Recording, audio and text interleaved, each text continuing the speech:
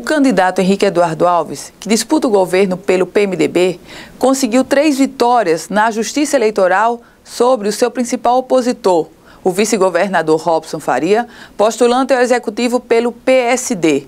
A assessoria jurídica de Henrique protocolou denúncias de invasão de propaganda eleitoral contra Robson Faria e também uma denúncia sobre divulgação irregular de pesquisa.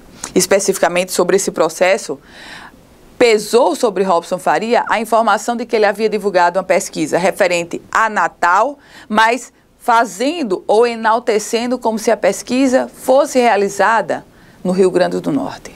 Já a candidata Vilma de Faria, que disputa o governo pelo PSB, protocolou uma denúncia contra o PSTU.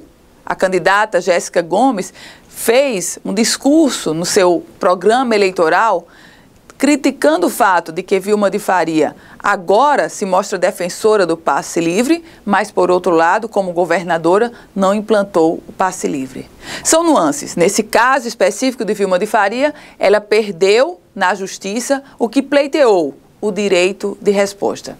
A candidata Fátima Bezerra já teve uma derrota porque tentou um direito de resposta contra Roberto Roncone, direito negado.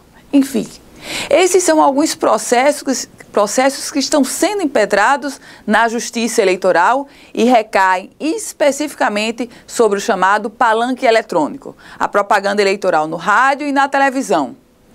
O que até então estava com um ritmo muito lento de processos na Justiça Eleitoral sobre propaganda eleitoral, agora não.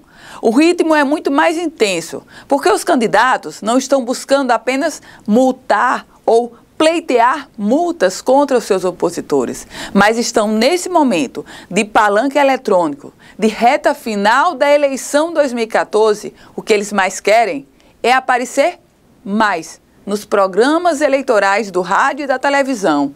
E o artifício para isso, a estratégia é uma só: é buscar processar os seus opositores e conquistar espaços, novos espaços, nos programas da oposição.